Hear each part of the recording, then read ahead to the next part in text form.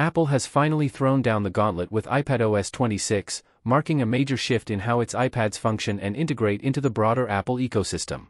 For years, critics and power users alike have expressed frustration at how iPadOS lagged behind its hardware, especially in terms of multitasking, file handling, and professional workflows. But with iPadOS 26, Apple seems to have paid attention, and it's about time. The problem with past versions. Let's be honest, iPads have always had the hardware advantage. The M series chips, stunning displays, ultra portable designs, all screamed potential. But the software? It lagged behind. iPadOS updates in the past often felt like superficial iterations.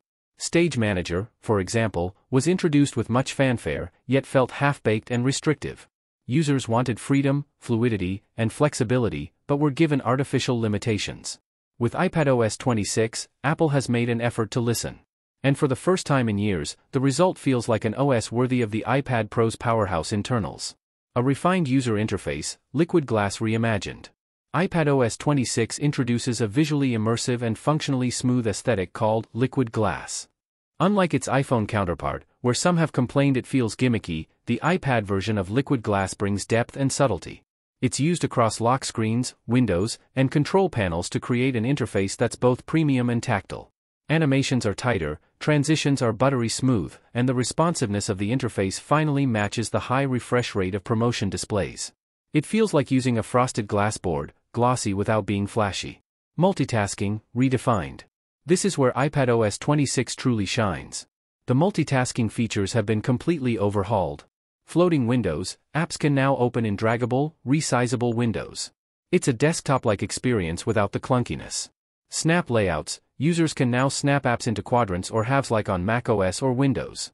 Minimize and maximize, full control over window size and position makes the iPad experience feel vastly more capable. Persistent dock and stage transitions, switching between windows and apps is seamless and no longer disrupts workflow.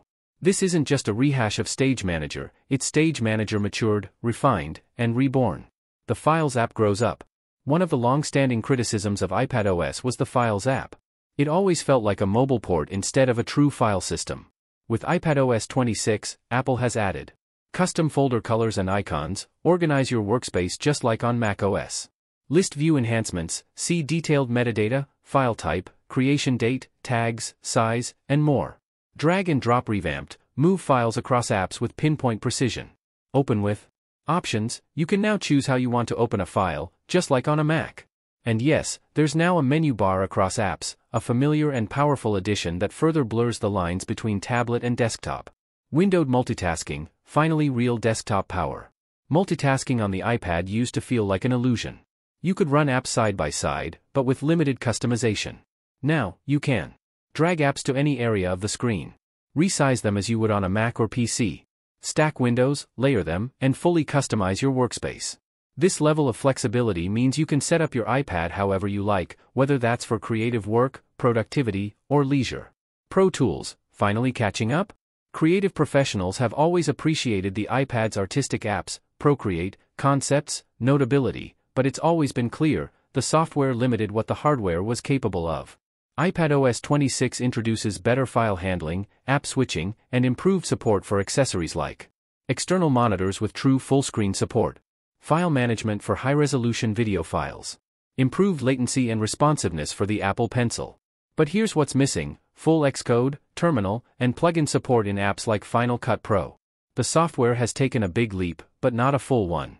Still, Apple has left the door open. Paper-like experience enhanced. If you're using the iPad for sketching or handwritten notes, the paper-like screen protector becomes a must-have. In iPadOS 26, the tactile feel when using the Apple Pencil has improved due to the software's enhanced response engine. Paper-like's benefits. Reduces glare and fingerprints. Improves pencil control. Preserves pencil tip longevity. It's subtle, but makes a huge difference for artists, architects, or anyone who values pen precision.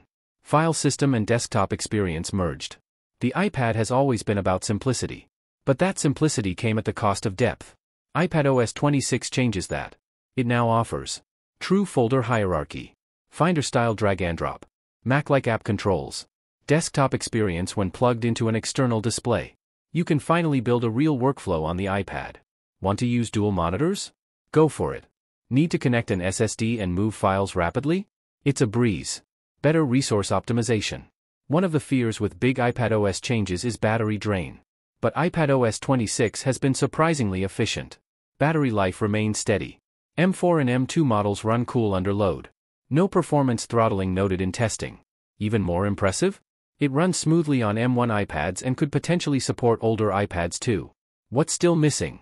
Despite its triumphs, iPadOS 26 is not perfect. No multi-user support. Limited terminal or developer tools. Still no real Xcode or full Logic Pro capabilities. Scrolling behavior still inconsistent in some apps. But at least the direction feels correct now. Comparison with Samsung DeX, who's winning now? For years, Samsung's DeX had the advantage with a more desktop-oriented approach to tablets. Apple fans envied features like full multitasking, resizable windows, external display freedom.